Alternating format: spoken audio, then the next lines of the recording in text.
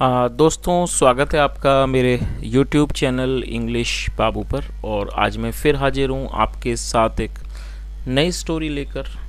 और दोस्तों, आज जो इस स्टोरी मैं आपके लिए लेकर आया हूँ, ये एक मॉरल स्टोरी है। बहुत ही इंटरेस्टिंग स्टोरी है, मज़ेदार कहानी है।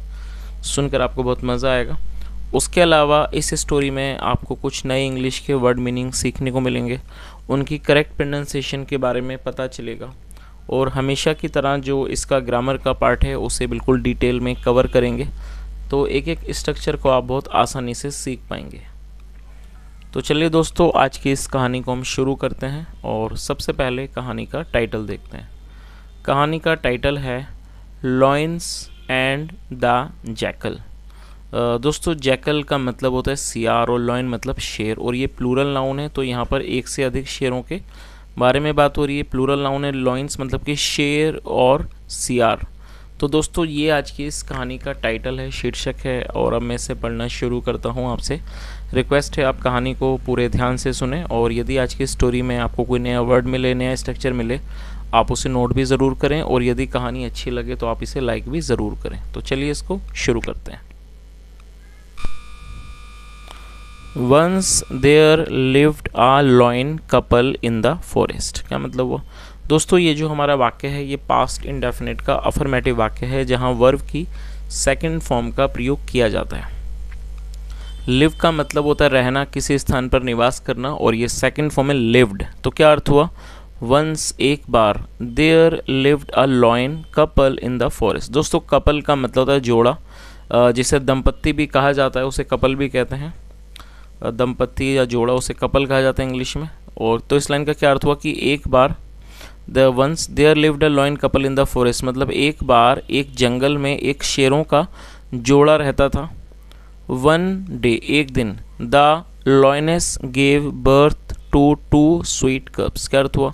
और दोस्तों, ये भी हमारा पास इंडेफिनेट का अफर्मेटिव वाक्य है, जहाँ सेकंड फॉर्म का प्रयोग किया गया है। गिव का मतलब होता है देना सेकंड फॉर्म है गेव वन डे एक दिन, द लॉयनेस गेव बर्थ। जो लॉयनेस लॉयनेस का मतलब शेरनी, जो शेरनी थी, उसने जन्म दिया। टू टू स्वीट कप्स मतलब दो प्यारे शावकों को उसने जन्म दिया। और दोस्तों, कप्स का मतलब होता है जो शेर के बच्चे होते हैं, शिशु शावक, उन्हें कब्स कहा जाता है। तो दो उसने शावकों को जन्म दिया। The lioness was very happy. जो शेरनी थी, वो बहुत ज़्यादा खुश थी। होल डे लॉन्ग मतलब कि पूरा दिन she would play with the cubs मतलब पूरा दिन वह अपने शिशुओं के साथ अपने बच्चों के साथ वो खेलती उन शावकों के साथ वो खेलती।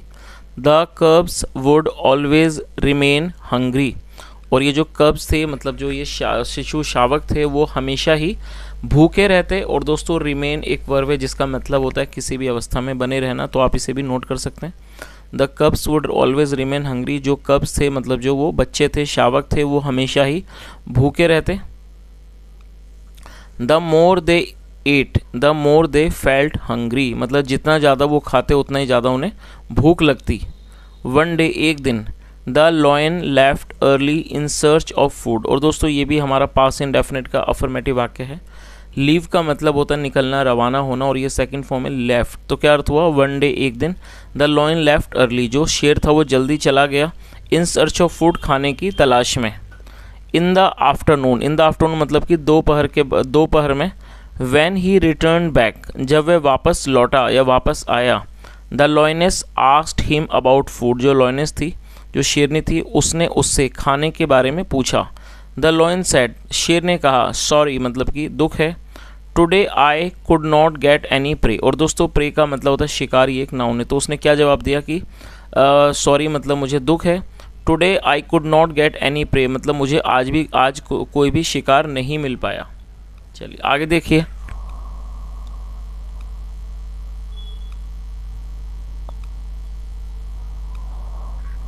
हियरिंग दिस ऐसा मतलब ये सुनकर द लॉयनेस सेट जो लॉयनेस थी, शेरनी थी, उसने कहा our children are very hungry उसने क्या कहा कि हमारे जो बच्चे हैं, वो बहुत भूखे हैं please bring some food for them कृपया उनके लिए कुछ खाना लाइए। चलिए, आगे देखिए।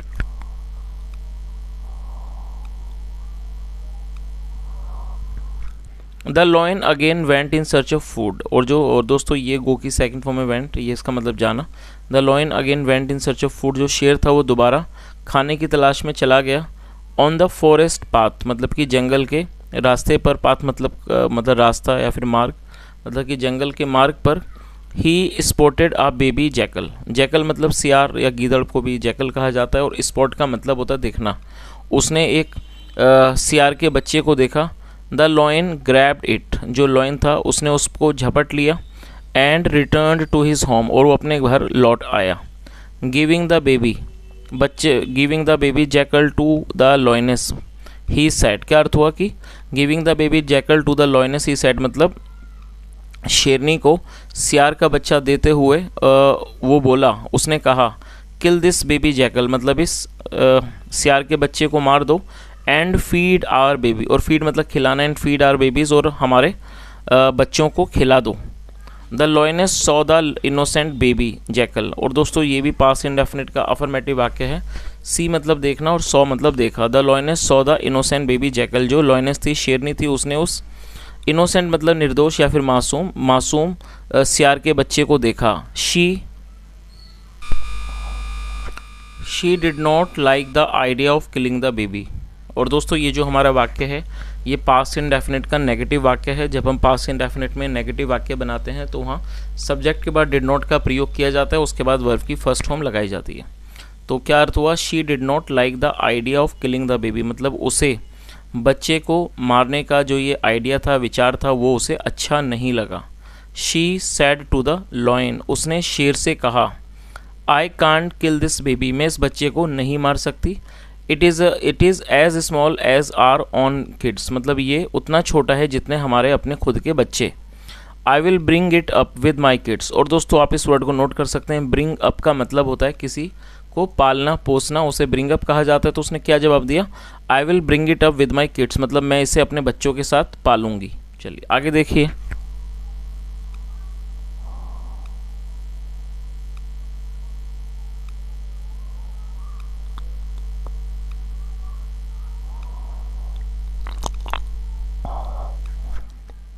The lion agreed. अग्री का मतलब होता है सहमत हो जाना किसी बात से। सेकंड फॉर्म में अग्रीड, द लॉइन अग्रीड, जो शेर था वो सहमत हो गया। नाउ अब, the jackal started living with the lion family. अब ये जो जैकल था, सियार था, उसने शेर के परिवार के साथ रहना शुरू कर दिया। He learn to hunt animals from the lions क्या अर्थ हुआ? दोस्तों लर्न का मतलब होता है सीखना, याद करना, पढ़ना, और यहाँ इसका मतलब है सीखना, और सेकंड फॉर्म में learned he learn to hunt और हंट मतलब शिकार करना मतलब उसने शिकार करना सीख लिया। एनिमल्स जानवरों का, पशुओं का उसने शिकार करना सीख लिया। किससे सीखा? फ्रॉम द लॉयनेस मतलब शेरनी से उसने जानवरों का शिकार करना सीख लिया। The children grew older as the days passed और दोस्तों, ये ग्रो की सेकंड फॉर्म में ग्रू ग्रो मतलब होता है बढ़ना। सेकंड फॉर्म में grew the children grew older जो बच्चे थे वो बड़े हो गए एज द डेज़ पास मतलब जैसे जैसे दिन गुजरे, जो बच्चे थे वो बड़े हो गए। सोन जल्दी ही द डे केम मतलब वो दिन आया when the three animals killed a deer मतलब जल्दी ही वो दिन आया कि जब जो ये तीन पशु थे, जानवर थे किल्ड अ डियर उस उन्होंने एक डियर को मतलब एक हिरन को मार दिया। और दोस्तों, यहाँ पर आप समझ ही गए होंगे, तीन एनिमल्स के बारे में जो बात हो रही है, वो इन तीन में दो जो हैं, वो शेरनी के बच्चे हैं जो कब्स हैं, जो बड़े हो गए हैं और तीसरा जो है वो सियार है। तो यहाँ पर इन्हीं तीन के बारे में बात हो रही है। आगे देखिए। The lioness was very proud of her children. जो लॉयनेस थी, शेरनी थी was very proud of her children. मतलब उसे अपने बच्चों पर बहुत गर्व था। She let the three some eat what they had caught और उसने उन तीनों को वो खाने दिया जो उन्होंने पकड़ा था। चलिए, आगे देखिए।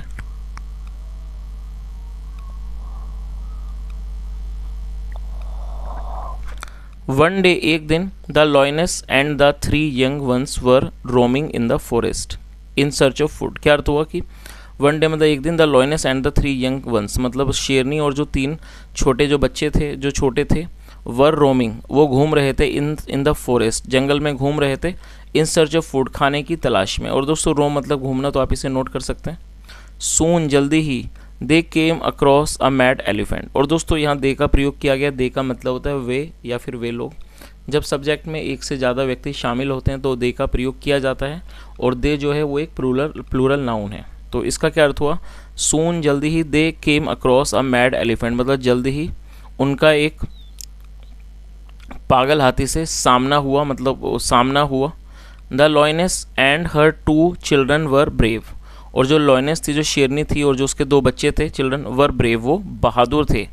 They dared to face the big elephant और डेयर का मतलब होता है साहस दिखाना हिम्मत दिखाना। They dare to face the big elephant और उन्होंने साहस दिखाया हिम्मत दिखाई। उस uh, बड़े हाथी का सामना करने का उन्होंने साहस दिखाया। चलिए आगे देखिए। But the jackal was scared to deal with the elephant लेकिन जो जैकल था, सियार था, वो स्केयर्ड वो डरा हुआ था, भयभीत था to deal with the elephant मतलब उस हाथी के साथ डील करने में, हाथी के साथ लड़ाई झगड़ा करने में वो बहुत ज़्यादा घबराया हुआ था।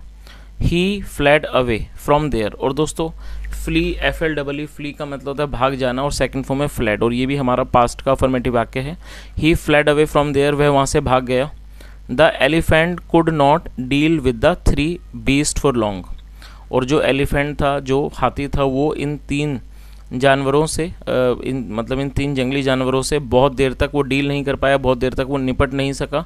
He also fled from the scene और वो भी उस जगह से भाग खड़ा हुआ। चलिए, आगे देखिए।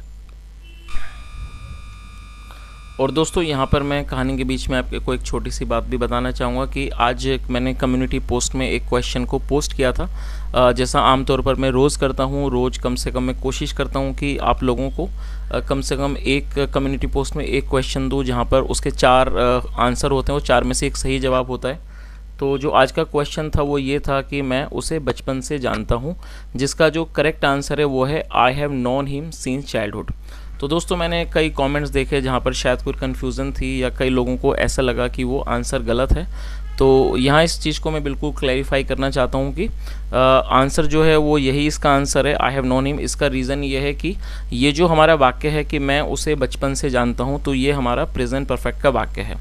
और इसके बारे में मैं आपको एक और चीज़ बताना चाहूँगा, यदि आपको कोई कन्फ्यूज़न हो और मैं थोड़ा सा एक्सप्लेन कर देता हूँ, क्योंकि शायद कई लोगों को ये लगा होगा कि ये जो वाक्य है वो प्रेजेंट इंडेफिनेट का है, क्योंकि प्रेजेंट इंडेफिनेट में जब हम वाक्य बनाते हैं तो आम तौर पर जो प्रेजेंट इंडेफिनेट की, के वाक्यों की टेल पर उसके अंत में भी ताहे तीहे जैसे शब्द आते हैं, जैसे मैं खेलता हूँ, मैं जाता हूँ तो शायद आप लोगों में से कई लोगों को ऐसा लगा होगा कि जो इसका सही आंसर है, वो है I know him since childhood लेकिन दोस्तों, यहाँ पर आपको एक छोटी सी मैं इन्फॉर्मेशन देना चाहूँगा। जो लोग जानते हैं, अच्छी बात है, लेकिन जो लोग नहीं जानते हैं, वो उनको इस बारे में बता देता हूँ कि जब हम कोई भी ऐसा वाक्य बनाते हैं, जहाँ पर हम ये दिखाते हैं कि कोई भी काम किसी पर्टिकुलर टाइम फ्रेम को दिखाते हैं या ये दिखाते हैं कि ये जो काम है वो मतलब इतने टाइम से होता है तो इस तरह के जो वाक्य हैं, उसको प्रेजेंट परफेक्ट माना जाता है। अब जैसे मान लीजिए जो हमारा वाक्य है, जो मैंने पोस्ट किया था वाक्य था, मैं उसे बचपन से जानता हूँ। तो यदि आप इसको सिर्फ़ इतना ही लिखें कि मैं उसे जानता हूँ तो ये डेफिनेटली प्रेजेंट इंडेफिनेट का ही वाक्य बनेगा तो आप इसका आंसर देंगे आई नो हिम लेकिन जो हमारा वाक्य है, वो है आई मैं उसे बचपन से जानता हूँ। तो यदि आप वाक्य पर ध्यान देंगे तो इसके अंदर ये पता चल रहा है कि मैं उसे जानता हूँ, और उसके अलावा इसमें ये भी इन्फॉर्मेशन है कि मैं उसे बचपन से जानता हूँ। तो रूल के अकॉर्डिंगली प्रेजेंट परफेक्ट का रूल ये है कि अगर हम कोई भी ऐसा वाक्य बनाते हैं जहाँ पर ये शो हो कि वो क्रिया पूरी हो चुकी है और क्रिया पूरी होने का हमें कैसे पता लग रहा है? क्योंकि उसके अंदर एक टाइम फ्रेम है तो उसको प्रेजेंट परफेक्ट माना जाता है। और जब हम प्रेजेंट परफेक्ट उसको मानेंगे और जब वो प्रेजेंट परफेक्ट का वाक्य होगा तो वहाँ पर हमें हैज़ या हैव का प्रयोग करना होगा हेल्पिंग वर्क के रूप में और साथ में वर्ग की थर्ड फॉर्म लगानी होगी। तो दोस्तों, आप इस चीज़ को नोट करें या फिर चाहें तो आप इसके स्ट्रक्चर्स को खुद भी एक बार देख सकते हैं कि जब हम कोई भी ऐसा वाक्य बनाएँगे कि जिसमें ताहे तीहे आए लेकिन उसमें एक समय भी दिया हो तब कि वो सम, इतने समय से वो चीज़ हो चुकी है तब उस वाक्य को प्रेजेंट परफेक्ट माना जाता है। तो जो हमारा वाक्य था कि मैं उसे सबसे पहले तो यही चीज़ आप समझ सकते हैं ताकि आपकी कन्फ्यूज़न दूर हो जाए कि ये जो वाक्य है मैं उसे बचपन से जानता हूँ ये एक प्रेजेंट परफेक्ट का वाक्य है। और जब ये प्रेजेंट परफेक्ट का वाक्य है, तब आपको यहाँ पर हैज़ एफ़ का प्रयोग करना होगा और साथ में वर्ब की थर्ड फॉर्म लगानी होगी। और यदि वहाँ पर एक निश्चित टाइम फ्रेम दिया होगा तो वहाँ पर हमें सीन्स का प्रयोग करना होगा। तो इसका जो करेक्ट आंसर है, वो है I have known him since childhood तो दोस्तों, मैं उम्मीद करता हूँ कि जो भी कन्फ्यूज़न दूर हुई होगी, आप लोग समझ गए होंगे। और कई बार जैसे मैं कम्युनिटी पोस्ट में क्वेश्चन देता हूँ तो दोस्तों, वहाँ पर सिर्फ़ एक लाइन का क्वेश्चन होता है और साथ में चार आंसर होते हैं। तो वहाँ पर इतना समय, इतना या फिर इतना स्पेस नहीं होता कि मैं उसको क्लैरिफाई कर पाऊँ या फिर इतना भी नहीं होता कि मैं कमेंट के माध्यम से ही आपको उस चीज़ का रिप्लाई करके समझा दूँ। क्योंकि कई सारी चीज़ें ऐसी होती हैं जो हम कुछ लाइनों में एक्सप्रेस नहीं कर पाते कुछ लाइनों में उनको, और उसके लिए हमें थोड़ा सा समय की ही ज़रूरत होती है और हमें बताना पड़ता है। तो मैंने सोचा कि मैं आपको आज वीडियो के दौरान बता दूँगा। तो आप कमेंट करके ज़रूर बताएँ कि ये बात आपको अच्छे से समझ आई या नहीं, या फिर अगर आप और भी इसमें ज़्यादा क्लैरिटी चाहते हैं और भी ज़्यादा चाहते हैं कि इसको डिस्कस किया जाए तो मैं इसके लिए प्रेजेंट परफेक्ट के ऊपर में एक सेपरेट एक चैप्टर जो है, उसको हम कवर कर लेंगे। प्रेजेंट परफेक्ट के ऊपर मैं एक वीडियो बना दूँगा तो आप मुझे कमेंट बॉक्स में बता सकते हैं। चलिए अब हम कहानी को कंटिन्यू करते हैं। Then the lioness noticed that the jackal was missing और दोस्तों नोटिस का मतलब होता है अवलोकन करना किसी चीज़ पर, ध्यान जाना किसी चीज़ का। उसके बाद जो लॉयनेस थी, शेरनी थी उसने देखा कि जो जैकल था, सियार था वॉज़ मिसिंग वो गायब था। शी सर्च फॉर हिम उसने उसको तलाशा, ढूंढा and found him behind a bush और उस और ये फाइंड की second form and found him और उसको वो मिला। कहाँ मिला? बिहाइंड ए बुश मतलब एक झाड़ी के पीछे उसे वो मिला। He was trembling badly tremble का मतलब कांपना। ही वॉज़ ट्रैम्बलिंग बैडली वो बुरी तरह से काँप रहा था। The two cubs also reached there जो शावक थे ऑल्सो रीज देयर वो भी वहाँ पहुँच गए एंड टीज्ड द जैकल और उन्होंने जैकल को, सियार को चढ़ाया। चलिए, आगे देखिए।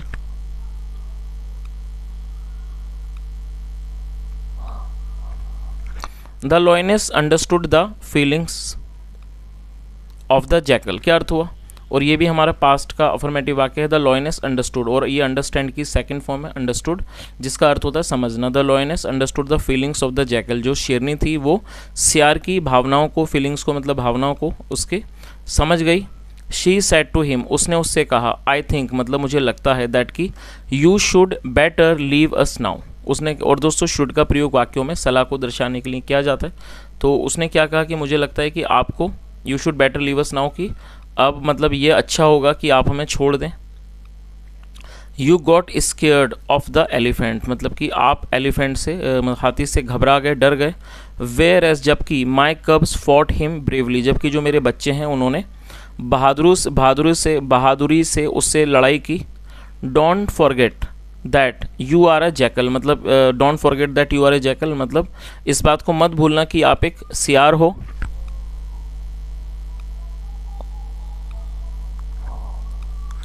नॉट ए लॉइन एक शेर नहीं। नाउ अब I want you to fend for yourself और अब मैं चाहती हूँ कि आप अपनी देखभाल खुद करो। आगे देखिए। सेइंग दिस ऐसा कहते हुए the lioness left with her two cubs जो शेरनी थी, वो अपने दोनों शावकों के साथ चली गई। चलिए। चलिए दोस्तों, कहानी का जो मॉरल है, वो भी एक बार देख लेते हैं, क्या मॉरल है? The basic nature of a being never changes क्या अर्थ हुआ? दोस्तों नेचर का मतलब है स्वभाव, जो एक, किसी का भी जो एक बेसिक नेचर होता है, जो एक उसका एक प्राकृतिक स्वभाव होता है, वो कभी भी नहीं बदलता है। तो दोस्तों, ये आज की एक छोटी सी कहानी थी और मैं उम्मीद करता हूँ कहानी अच्छी लगी होगी आपको, और यदि अच्छी लगी हो तो आपसे रिक्वेस्ट है।